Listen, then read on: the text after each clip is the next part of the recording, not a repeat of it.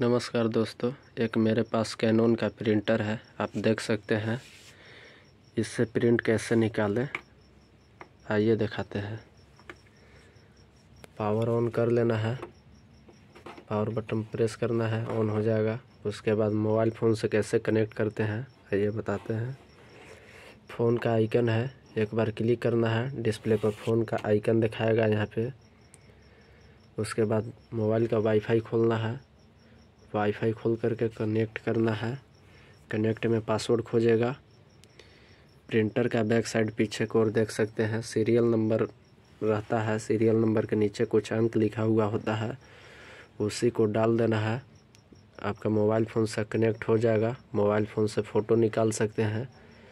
अगर ऐसे प्रिंट निकालना है, कुछ कॉपी करना है, डाल दीजिए। इसके बाद ब्लैक प्रिंट निकालना है, कलरफुल प्रिंट निकालना है। आप देख सकते हैं, सारा कुछ लिखा हुआ है। आप कर सकते हैं, ब्लैक निकालना है, ब्लैक पर क्लिक कीजिए। कलर निकालना है, कलर पर क्लिक कीजिए। सारा कुछ लिखा हुआ है, आप देख सकते हैं। जय हिंद।